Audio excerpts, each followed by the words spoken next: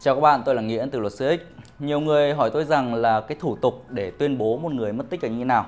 Bởi vì trên thực tế, việc mà một người mất tích ảnh hưởng đến rất nhiều quyền lợi và nghĩa vụ của những người khác. Ví dụ như là uh, trong quan hệ hôn nhân chẳng hạn, khi mà người chồng tự nhiên biệt tích rất lâu, người vợ muốn ly hôn cũng không biết làm thế nào để ly hôn khi không có mặt của người chồng. Cũng có rất nhiều trường hợp khác liên quan đến thừa kế. Khi mà bố mẹ mất rồi nhưng một trong những người con thuộc hàng thừa kế thứ nhất lại biệt tâm biệt tích. Làm những người anh em muốn là niêm yết, khai nhận di sản thừa kế cũng không được bởi vì không có chữ ký của người kia. Vậy thì phải làm thế nào để có thể bán được tài sản đó? Đó chính là tuyên bố một người mất tích. Lúc đó quyền quyết thuộc về chúng ta và những người quản lý tài sản. Bộ luật dân sự năm 2015 có quy định về ờ, những trường hợp tuyên bố mất tích. Theo đó, trong thời gian 2 năm mà không thấy tung tích của người này thì hoàn toàn có thể yêu cầu tòa án để tuyên bố mất tích. Thời gian 2 năm đó chúng ta có thể đưa ra những bằng chứng chứng cứ về việc là đã ra ủy ban nhân dân, đã ra cơ quan công an về trình báo về một người mất tích rồi chẳng hạn hoặc là xin xác nhận của những cơ quan chức năng đó. Đây là những bằng chứng chứng cứ được coi là sát sườn để yêu cầu tuyên bố mất tích một người. Cộng với đó là một tờ đơn yêu cầu tòa giải quyết. Trong thời gian 30 ngày kể từ ngày nhận hồ sơ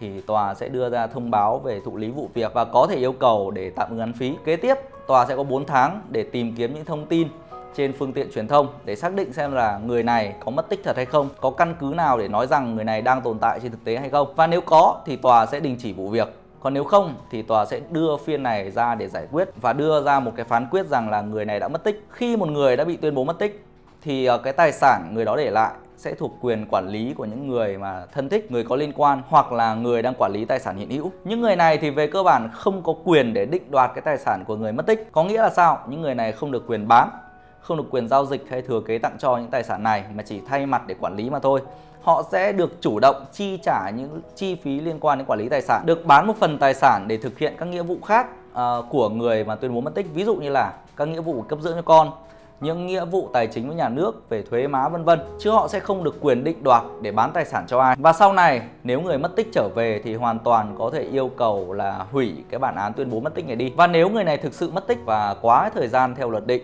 thì những cái người thân, người có quyền lợi, nghĩa vụ liên quan hoàn toàn có thể yêu cầu tòa án để tuyên bố người này đã chết rồi. Cụ thể thì trong thời gian 3 năm kể từ ngày tuyên bố mất tích thì những người có liên quan hoàn toàn có thể đệ đơn để yêu cầu là tuyên bố người này đã chết rồi. Và khi người này đã chết thì số lượng tài sản sẽ được chia theo các hàng thừa kế. Nhưng phải lưu ý rằng là phải tuyên bố mất tích rồi thì mới có thể là tuyên bố chết về sau. Trên đây là những cái kiến thức cơ bản để các bạn có thể nắm rõ về việc là tuyên bố mất tích theo quy định của pháp luật. Trong trường hợp các bạn cần luật sư tư vấn cung cấp những cái dịch vụ về tuyên bố mất tích, tuyên bố một người chết thì có thể liên hệ với luật sư X theo số điện thoại đang hiển thị ở trên màn hình. Chúng tôi rất hân hạnh được hỗ trợ. Luật sư X đưa luật sư đến ngay tầm tay bạn.